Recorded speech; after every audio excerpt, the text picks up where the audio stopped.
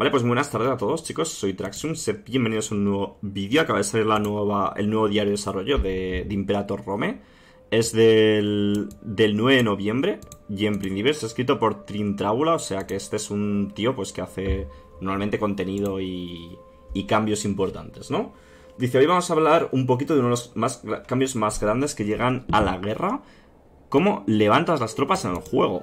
Ojo, ojo porque esto la gente estaba muy hipeada, en el sentido que podrían hacer que se pareciera al, al Victoria 2, cosa que molaría bastante. A ver, durante la mayor parte de la era cubierta por el juego, los ejércitos de Roma y otros, gran, y otras, otros grandes poderes estaban compuestos principalmente de levas. En las repúblicas del de, mundo greco-romano, el sistema de levas era de muchas formas la fundación de la democracia, basada en la idea de que alguien que luchaba por su ciudad debía tener el derecho a votar. Esto es muy importante. Esto es muy, muy importante. Y esto es algo que se ha perdido de la, de la antigüedad aquí a, esta parte, desde luego, que es la idea de que eh, tú lo dabas todo por el lugar en el que vivías, ¿no? No solo trabajabas en él, normalmente, pues trabajando en el campo, sino que si tenías que ir a la guerra, tenías que luchar por él, ¿no? Y, y esto es lo que te concedía el poder de votar, ¿no? O sea, tú defendías tu tierra tenías el poder de votar. Esto lo hablaba Constant, eh, Benjamin Constant, la idea de cómo con la modernización, no, no necesariamente recientemente, pero el florecimiento del comercio había hecho que la gente se retirase de, de, lo que es la guerra de los asuntos públicos y había pasado como un aspecto mucho más pasivo de la sociedad, en el sentido de que ya no estaba tan activamente involucrada en la política de, de, su ciudad o de donde fuera que viviese, sino que se dedicaba simplemente pues a generar comercio, a vivir bien y a vivir tranquilamente y, y quitarse los problemas públicos porque ya no le afectaban tanto, lo cual pues provoca una delegación de la voluntad política en otras personas, que es, bueno, pues lo que eventualmente se ha desarrollado, ¿no? Que ahora tú ejerces tu derecho al voto y dejas en manos de otra persona pues lo que es, se supone que son tus ideas, son tu, es tu voluntad política, ¿no? Y eso es un poco lo que está mencionando aquí, ¿vale? Para que tengamos un poco de idea de cómo en la antigüedad, ¿vale? En la época en la que se desarrolla el Imperator Rome, era eh, lo suyo era precisamente pues que la gente está muy involucrada en la política. Aparte también del sistema de sorteo, ¿no? Que esto ya quizá podríamos hablar también de cómo el hecho de que tú, tú representases eh, a tu... o te tuvieses como voz y voto en el Consejo podía perfectamente decidirse mediante sorteo, que lo consideraban el más justo de los sistemas eh, electivos, ¿no? Y ya que todo el mundo tenía que tomar parte en las decisiones políticas, pues qué forma mejor de hacerlo que sortearlo y ya está, ¿no? Cada cierto tiempo. Bueno, eh, esto era versátil y una forma versátil y barata de asegurarte de que los ejércitos grandes podían reunirse rápidamente.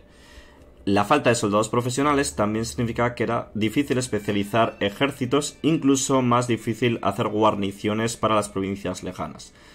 Ostras, ¿por qué se me va esto, tío? ¿Qué le pasa al teclado? Perdón, ¿eh? En la actualización de Mario, de Marius, ya no va a haber ejércitos permanentes. Al comienzo, en la mayor parte del mundo va a haber algunas excepciones y volver, vamos a hablar de ellas más adelante. En vez de eso, las tropas se levantan durante un tiempo directamente de aquellas poblaciones que no sean esclavos. Importante esto de que no sean esclavos porque es un poco la idea que os estoy queriendo transmitir de que de que parte de ser ciudadano era precisamente servir en el ejército, ¿vale? Así que obviamente los esclavos no iban a ir necesariamente a la guerra. Joder, qué guapo. Efectivamente hay levas. Uf. Esto es bastante hype, ¿eh? Aquí tenemos una nueva interfaz, ¿no? Levas, tenemos tradiciones, cohortes, barcos y legiones. Hay levas y legiones. O sea, las legiones van a ser el ejército eh, profesional y las levas van a ser el ejército civil de bruto, ¿no? Por así decirlo. Levantar todas las levas, estilo Crusader Kings 3, ¿no? Y aquí vemos las levas que tiene el... Bueno, es que parece que son legiones incluso, ¿no? Tal Publio Sempronio Sofo. Sofus. Tiene algunas levas, ¿no? Y nos dicen cuáles son. Ostras, qué guay. Vale, tamaño de levas. Eh, las levas se eh, levantan en base a los gobiernos. Ah, vale, son los gobernadores los que levantan las levas. Interesante. Y solo aquellas poblaciones que pertenecen a las culturas integradas pueden ser llamadas. Vale. eh, todos los hombres capaces de las poblaciones ahora serán parte de tu ejército y todas las poblaciones que son parte de tus levas dejarán de contribuir a la economía hasta que las levas sean desbandadas. Qué guapo, tío. Además de no producir ingresos mientras están levantadas, unas poblaciones que son partes de unas levas están exentas de la migración, la asimilación, la conversión y el hambre. Y levantar levas no tiene coste en sí mismo, además de algo de War Exhaustion. Tener las levas levantadas durante mucho tiempo eh, empezará a hacer que progrese tu hastío bélico, de forma similar a cuando estás en guerra en la versión actual del juego. y aquí hemos levantado las levas, ¿no? 37k de levas. ¿Esto en el año 450? 37k Entiendo que esto va a ser algo en progreso, ¿no? 37k en el año 450. Estamos locos, tío. No sé si se está viendo, pero... Eso, 37k, efectivamente. En el 450, muy loco esto, ¿eh? Muy, muy loco. No creo, ¿no? O sea, si precisamente la gente se estaba quejando de que se gestionan demasiadas tropas en, su momento. Bueno, también es verdad que es Roma, ¿no? Justamente estamos hablando de Roma. Quizá no es como lo más óptimo realmente a la hora de estar hablando, ¿no? Coño. No, porque realmente igual Roma pues sí que tenía tantas tropas a estas alturas, ¿no? Se me ocurre. En fin. Eh, la cantidad de las culturas integradas que estén movilizadas si escoges alzar tus levas va a depender de dos cosas. Eh, la ley de reforma militar que esté en activo en ese momento, que las han rehecho para las monarquías y las repúblicas, y nuestra política económica. Vale, o sea que la cantidad de levas que vamos a poder alzar de aquellas poblaciones que tengamos integradas va a depender enteramente de nuestras políticas militares y económicas. Mola un montón. la última va a ser preferible si quieres eh, decrementar o incrementar tu tamaño de la leva, aunque sea temporalmente.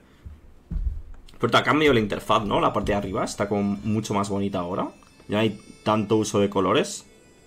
Qué chulo, sí, señor. Vale.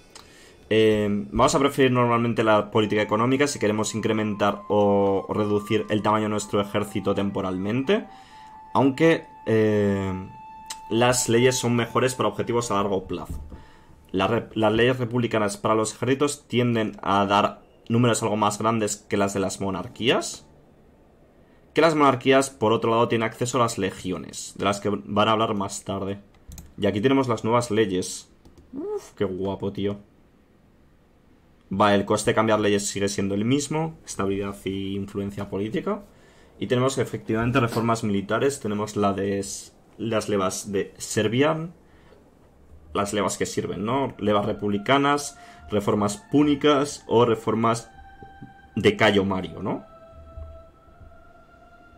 Y efectivamente nos da un multiplicador de tamaño de leva, en este caso lo reduce, y por supuesto, opinión de las distintas facciones, ¿no? Y más recuperación de manpower, interesante. Va que acostumbrarse a jugar con todo esto, ¿eh? Vale, tamaño de, eh, de tropas, perdón, tipo de tropas y composición de las tropas de las levas. No es tanto, dice Bundes. Ten en cuenta que apenas 100 años después tienen Kanae un ejército de 80.000 hombres, solo en Kanae. Pero lo que digo que justamente se está quejando la gente de que había como muchas tropas al principio de la partida y que ahora pues van a ser siendo muchas, ¿no? Sobre todo teniendo en cuenta que han reducido, o sea, que un, regimiento medio ya no son mil tropas, sino que son 500. O sea, que en 34.000 tropas son eh, 68k. Nada más empezar la partida. Me parece muy bestia, en, en mi opinión, ¿eh? O sea, no sé. Que igual está bien, tío, pero me parece bastante, bastante bestia, tío. No sé. De forma contraria a la versión actual del juego, no tenemos control directo sobre qué tipo de tropas tus ejércitos contienen. El tipo de tropas que consigues, o sea que vamos a tener menos agencias sobre los ejércitos en principio. El tipo de tropas que consigues depende de la cultura de las poblaciones que levantes. Cada cultura va a tener su propio. Eh, su propio. su propia plantilla de tropas. Es decir, que por ejemplo, si alzamos levas de cultura romana, vamos a tener. Esas levas van a ser de un tipo de tropas de una manera. Si son, por ejemplo, eh, griegas, macedonias, van a ser distintas. Mola, o sea, esto le da como más... Eh, mucha más diversidad bélica al juego. Totalmente. Pero por otro lado nos quita agencia, ¿no? O sea, como que nos ancla un poco... Nos ancla un poco a la... A la cantidad de... O sea, que si estás jugando con un país vas a tener que, jugar sí o sí con, ese tipo de tropas, ¿no? Que nos manden.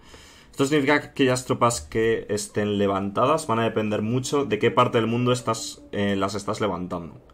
Bueno, bueno, realmente como le dices a un gobernador que las levante, por así decirlo, tú lo que estás haciendo es que, por ejemplo, si tienes un gobernador en la Galia, que levante pues un regimiento de, de galos. Pero esto, por ejemplo, tiene que estar afectado por la tecnología, ¿no? Porque entiendo que no es lo mismo que una tribu levante tropas en la Galia que, que la levante Roma una vez tiene ocupada la, la Galia, ¿no? Buenas, carroñero. Un ejército etrusco, por esto me dice Bundes que 37k serían 74 regimientos, pues efectivamente, ¿vale? O sea, me he confundido con los números. Es igual, se entiende la idea, ¿no? De que son muchísimas tropas. Un ejército etrusco va a ser diferente de uno romano y uno macedonio va a ser diferente, uno macedonio va a ser distinto de uno cartaginés. Además, de depender de la cultura, el tipo de unidades va a depender según las poblaciones de la que las alces. Una cohorte de caballería pesada se va a alzar de ciudadanos o nobles, mientras que una cohorte de arqueros puede venir de hombres libres o de hombres de las tribus. Vale, vale, vale. O sea que la diferencia que vamos a tener si, si Roma, es, o sea, si la Galia está ocupada por una tribu o está ocupada por Roma, es precisamente la, calidad de las tropas que pueden salir. O sea, las tribus sacarán tropas más baratas y Roma en este caso pues sí que sacaría, pues por ejemplo, caballería pesada, ¿no? Estamos viendo, por ejemplo, un ejército eh, de Persia. En las tierras altas de Persia, ¿no? Y tienen arqueros, tienen caballería pesada, tienen caballería ligera, infantería ligera y, eh, y hombres de estos, ¿no? Hombre, si eres bárbaro podrás adaptarte a la equipación y a las tácticas civilizadas. Claro, pero también va a afectar las, las, poblaciones con las que les estás alzando. Si tú metes ciudadanos y metes nobles en esas regiones, te van a ser tropas mejores. Y en la batalla del río Alia, en el 390 a.C., 35.000 y 40.000 hombres. Bueno, eso habría que ver hasta qué punto puede ser verídico también, o exageración. El caso es que, en mi opinión, que no lo digo tanto por historicidad, sino por, por el estado del juego, ¿no? Que la gente se quejaba de que salían muchas tropas pronto y por lo visto van a seguir siendo. Ya está, es lo único que señalo. Que si es veraz históricamente, pues perfecto, ¿sabes? Eh, otra cosa que significa es que si te mueve, que, que esto significa es que si vas a una nueva región e integras una nueva cultura para ganar acceso a sus tropas, también te podrás beneficiar de desbloquear sus tradiciones militares. Esto ya lo vimos en otro diario de desarrollo. Pero esto significa que eh, se centrarán en reforzar las tropas comúnmente levantadas por las culturas en las que están asociadas. Vale, o sea que las tradiciones militares que podemos desbloquear de una cultura en concreto, lo que se enfocan es en reforzar aquellas levas que vamos a ir levantando. En este caso vemos cómo desbloqueamos a los catafractos. Y esto lo que nos da es lo siguiente, ¿no? Hemos desbloqueado los catafractos, lo que hace es que nuestra caballería pesada tenga más ofensa, más eh, ataque y más defensa, y aparte nos aparecerán más caballeros pesados. O sea que no existen en sí los catafractos, que es un poco la pena que no va a haber comunidades únicas, pero es como más roleo, ¿no? O sea, en este caso se está roleando, se supone que eh, la caballería de esta zona pasan a ser catafractos y son la caña de España, ¿no? Mm, me hubiera gustado ver tropas únicas, ¿qué queréis que os diga? También es un poco cómo lo equilibras, ¿no? Quizá lleguen más tarde, pero sinceramente viendo estos cambios, viendo este nuevo sistema, veo bastante complicado que vayan a llegar tropas únicas. Lo que vamos a tener es un poco la idea, ¿no? Entiendo, por ejemplo, que en Macedonia pasará similar, ¿no? Te dirán, eh, desbloqueas a los soplitas, y lo que harán los soplitas será que, que la infantería pesada será mucho mejor y que te aparecerán más, más, más infantería pesada, ¿no? Es una solución, desde luego es una solución y claramente esto va a dar muchísima variedad en el mundo, pero los que queríais ver realmente unidades únicas, pues no va a ser con esto, ¿no? Realmente. De todos modos, también si esto está apoyado por modelos de unidades, quizá ayuda, ¿no? O sea, si por ejemplo la caballería pesada persa, tú ves que son catafractos, dices, joder, pues quizá te lo puedes creer, ¿no? No son lo mismo los piqueros normales que los argis, argiráspides. No, no son lo mismo, pero técnicamente lo que veremos es que los. Los. La infantería ligera, que son más que nada los piqueros. Lo que vamos a ver es que la infantería ligera en esa parte del mundo, pues probablemente sea la leche, ¿no? Y. Y, y estarán súper chetados, ¿no? Un poco emulando a los argiráspides, ¿no? Escudos de plata. Bueno, pues eso, ¿no? Es un poco la idea. Otro efecto sobre el sistema de levas es que, es que te vas a encontrar que eh, no siempre tienes las tropas que deseabas que desearías a tu disposición. Un, ejército en el norte de Italia o en la Galia puede encontrarse algunos nobles trayendo carros al campo de batalla. En Arabia habrá camellos, etcétera, etcétera. No, camellos ya existían, ¿no? Ah, claro, vale. Vale, lo que se refiere a esto, a que no. Claro, a que tú consigues las levas de una región, no van a ser siempre las que desearías, ¿no? Igual. Es que, claro, va a depender tanto de en qué parte del mundo estés y de qué, qué población tengas, que igual no es siempre lo que deseas. A veces será mejor de lo que esperabas, otras será peor, supongo, ¿no? Un general usualmente tiene que buscar una manera de luchar con los ejércitos que ha conseguido, pero raramente los que quiere. Sí, o sea, esto, esto es entendible, ¿no? O sea, tú eres un general y te encuentras que tienes X ejército, ¿no? No es como que tú creas el ejército que te daría a ti la gana tener. No sé, por ejemplo, supongo que el caso de Napoleón sería así, ¿no? El tío llegaría a ser cónsul, ¿no? Y diría, pues mira, esto es lo que hay y tenemos que trabajar con ello, ¿no? Es como más realista, podamos, podemos decirlo así. claramente esto es mucho más realista que lo que había en Imperator Rome hasta el momento.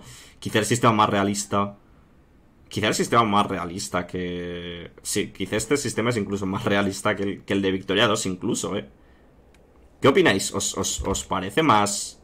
¿Qué, os, qué os, o sea, tío, me parece mucho más realista, más histórico que el que pueda haber en, en Victoria 2 incluso. Y eso que Victoria 2 estaba directamente relacionado a las... a la población que tú tenías. Pero es que en este caso es, va un paso más allá. O sea, aquí no es solo que esté, que dependa directamente de la población que tengas, y de que si estás alzando a tus tropas, dejen de generar dinero, dejen de. O sea, esa población está dejando de hacer otras cosas, como migrar, convertirse, generar dinero, etcétera. Lo llevan más allá todavía, que es que el ejército está preestablecido porque son las, son las levas que, que tenías ahí, ¿no? Son las tropas que había y con las que tienes que lidiar. Y tienes que trabajar con lo que tienes. Ah, no sé por dónde me he quedado leyendo que se me ha ido. Um, lo que queremos conseguir con este sistema es que los jugadores tengan desafíos interesantes a la hora de desarrollar militarmente su ejército, con la naturaleza de tus ejércitos evolucionando a la vez que evoluciona tu eh, expansión cultural y geográfica. A ver, me molan los cambios, ¿eh? No me malinterpretéis, me está molando mucho lo que leemos. El comandante del ejército, de las levas, ¿eh? Aún no hemos llegado todavía a las legiones, al ejército profesional. Como el caso se daba históricamente, le hemos dado a los gobernadores una mayor importancia militar a la hora de tratar con las levas. Bueno, esto me recuerda desde luego a la República Romana, ¿no? Que si te daban una región y una, y una legión, era muchísimo poder, ¿no? Los gobernadores de... El gobernador de un gobierno del cual las levas son alzadas va a ser el comandante de los ejércitos ahí estacionados. Esto significa que además de escoger a alguien que sea capaz y leal para un gobierno, también tiene que ser un buen general a partir de ahora. Importante esto, muy, muy importante. El gobernador no va a ser el único que te va a dar eh, dinero. A ver. El gobernador no solo va a ser el único que se asegure que los impuestos llegan a ti a tiempo, sino que también es la persona que va a liderar tus tropas de una región designada. está guapo esto, eh, tío. Levas tribales. está guapo esto, tío. ¿Qué pensáis? ¿Os, está molando, tío? Estoy bastante flipando, ¿eh? Traxium, para tener caballería en la India deberías comprar, comprarlos a los árabes. Bueno, ahora supongo que lo que tendrás que hacer para tener caballería en la India será hacerte con alguna región que tenga caballería, ¿no? Eh, dice Chencho que en el CK3 las levas eran un conjunto informe de infantería. Aquí son más detallados que aparte de las legiones. Claro, por ejemplo, el CK3 es como más artificioso en ese aspecto, ¿no? Sí que es cierto que tú tienes un ejército profesional y un ejército de levas, pero las levas, o sea, se generan en función de, de todos tus territorios y los edificios que hay, pero es eso, es como artificioso en el sentido de los edificios que hay, ¿no? No se genera tan naturalmente como un Imperator Rome. Y luego eh, el ejército profesional lo designas tú directamente, lo diseñas tú directamente. Vamos a ver cómo es el ejército profesional en el caso Imperator Rome. Pero vamos a ver primero las, las levas de las tribus. En, una, en un país tribal, el liderazgo político está compartido entre un número de eh, líderes de clan o de jefes de clan, con la gobernanza del país que pasa entre ellos con cada sucesión.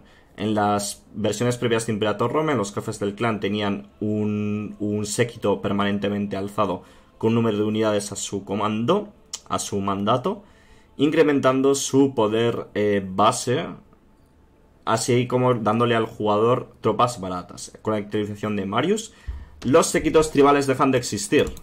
Ojo, ¿vale? Las tribus ahora tendrán. No tendrán nunca acceso a las legiones. O sea que las tribus se quedan en lo que hemos visto hasta ahora, ¿vale? Las tribus se quedan en las levas. Las tribus se quedan en lo que hemos visto hasta ahora. En cambio, las monarquías y las repúblicas sí que van a tener acceso a las tropas profesionales, ¿vale? A las legiones. Cuando las levas se alzan en un en un país tribal, estas intentarán converger al menos tantos ejércitos como haya jefes de tribus, dándole el mandato de cada ejército a cada uno de los de los, de, los jefes de tribu, y esto significa que una tribu pequeña puede levantar eh, levas que pueden resultar en tres ejércitos pequeños, de forma similar a como los tamaños de los séquitos eran bastante pequeños. O sea, no hay mucho, no va a haber mucho cambio a nivel efectivo, ¿no? Simplemente que en vez de estar permanentemente convocados, vamos a tener que convocarlos nosotros manualmente, ¿no? Todas las tropas que se alzan en una tribu empezarán con lealtad personal a uno de los, de los jefes del clan. Significa esto que eh, el poder base de los jefes de clan puede dispararse en tiempos de guerra cuando las levas son invocadas, ¿no? Cuando las levas son llamadas. Tras la guerra, estas levas son desbandadas y estas se volverán veteranos leales.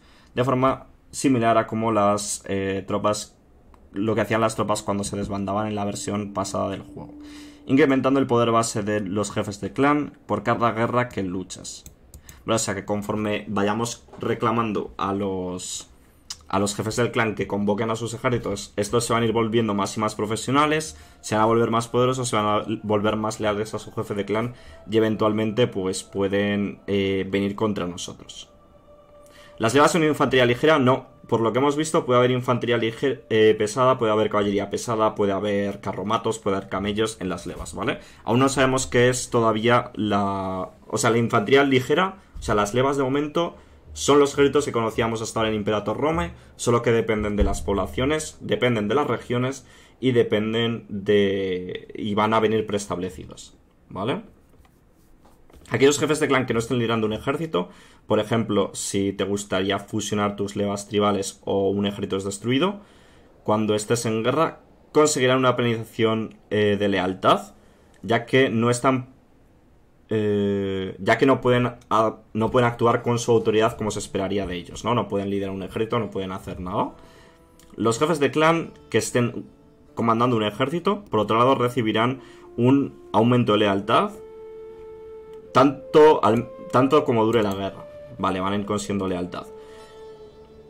Con esto quieren forjar un ejército tribal fuerte y unido y leal que pueda desafiar a los imperios establecidos en vez de ser simplemente una medida de conflicto interno y desunidad.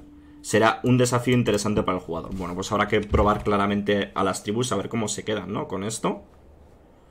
Em, se acabó de poner idiotas al mando de provincias. Es que realmente no ponías idiotas al mando de provincias. Ponías a gente que fuera leal y que tuviera buenos rasgos eh, cívicos, ¿no? Pero ahora necesitas que sean buenos comandantes también. O sea que eso va a ser todavía más interesante. Porque como pongas un cateto a, a comandar un ejército y luego lo necesites para conquistar o para una guerra o algo, te estampas. Las levas son gente con palos, que no, chicos. Si estáis entendiendo que las levas son gente con palos, no me estáis escuchando. Las levas son los ejércitos que conocíamos hasta ahora. Solo que dependen de la población, dependen de, la región en la que están y vienen preestablecidos. ¿Vale? Ah, las del CK3, vale, Calimocho. Vale, perdón, perdón. Entonces, en ese aspecto te he entendido yo mal, perdón. Y ahora ya nos presentan a las legiones, el ejército profesional, el ejército permanente. Vale, significa que la introducción de las levas que no tendremos comandantes militares o ejércitos permanentes nunca más. Que ya nunca tendremos control sobre qué tropas queremos llevar a la guerra. Para nada. Como hemos dado a entender antes, el ejército permanente no, es, no desaparece. El ejército permanente no desaparece totalmente. Pero como sucedía en la historia, entrará en la escena gradualmente y solo para las monarquías y las repúblicas. Veremos este ejército volver en una nueva característica o función que llamamos legiones, que serán ejércitos permanentes similares a las legiones romanas, al sistema de legiones romanas que desarrollaron tras las guerras púnicas y que les llevaron hasta la era imperial. Hablaremos más de las legiones, su composición y especificación y la forma que tendrán eh, a través de una campaña en un futuro diario de desarrollo. Mola. Mola, mola, mola. Mola muchísimo esto, ¿eh? Brutal, tío. Brutal. Sí, señor. Brutal. Vale. Eh, ¿Qué espero que sean los ejércitos profesionales, chicos? ¿Qué van a ser los ejércitos profesionales? Bajo mi punto de vista... Ojo, bajo mi punto de vista, ¿eh? Yo creo que van a ser los sequitos del CK2. ¿Qué pensáis vosotros? Yo creo que van a ser los sequitos del CK2 en plan... Eh, en plan... Los hombres de armas del CK3, por así decirlo pero que estén permanentemente alzados. Y yo lo que supongo es que es que eh, le he liado yo aquí. Coño, he tocado. Eh, yo lo que supongo aquí yo lo que supongo aquí es que van por un lado van a estar permanentemente alzados, por lo tanto tendremos que tener bastante dinero, tener bastantes ingresos como para poder mantenerlos, porque en principio eh, el alzar las levas no es que nos no nos cuesta mantenimiento. Lo que pasa con alzar las levas es que dejamos de ganar dinero, que es, que es, que es algo muy distinto, pero que a efectos prácticos puede ser similar, ¿no? Y luego lo que me imagino es que eso, eh, tendremos como un límite de séquito y gracias a la tecnología ese límite de séquito se irá expandiendo, de séquito o de legiones, ¿no? Es un poco lo que me imagino, de todos modos, a ver cuándo nos lo presenten, ¿no?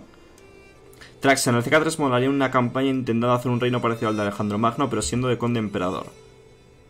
Sí, sí. Mm, a ver si hacemos alguna campaña al CK3 más de tranquis. Tiene la pinta que sea algo así, vendrán las diferencias entre culturas. Guau, muy guapo este diario de desarrollo, sí señor. Muy, muy guapo. Me ha encantado, ¿eh? Me ha encantado. A ver... A ver cuándo lo tenemos. Supongo que va a llegar esto el año que viene, ¿eh, chicos. Lo que me falta... A ver, con esto consigue mucho flavor todo el mundo. Pero la única pena que me da, no sé vosotros, lo de los ejércitos, tío. En plan que ahora las tropas únicas, por así decirlo, van a ser modificadores muy tochos, algunos tipos de unidades.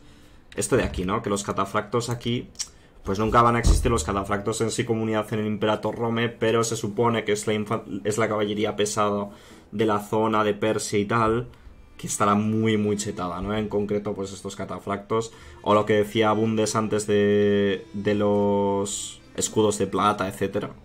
Muy guapo esto, tío, joder. Guardan diario desarrollo. Esto, esto brutal. No sé. Es un poco la pega que le pongo, ¿no? Que, que no vayamos a ver este tipo de unidades, bajo mi punto de vista. Pero bueno. Nada más. Espero que os haya resultado de interés este diario de desarrollo. Y nos vemos en el próximo. Chao, chao.